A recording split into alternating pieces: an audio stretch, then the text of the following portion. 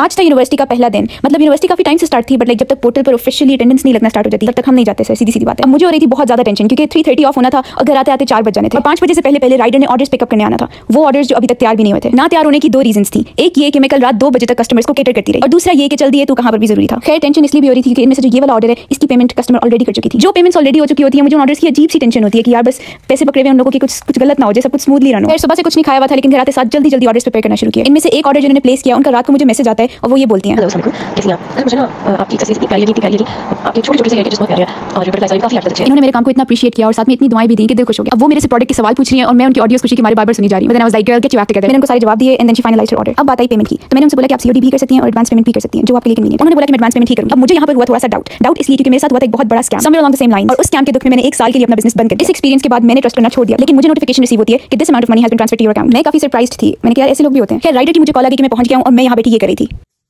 खैर जल्दी जल्दी पार्सल हैंड ओवर किए। अभी रीस्टॉक के लिए वेंडर से भी बात करनी थी, सुबह से कुछ खाया भी नहीं हुआ था और कल यूनिवर्सिटी भी थी।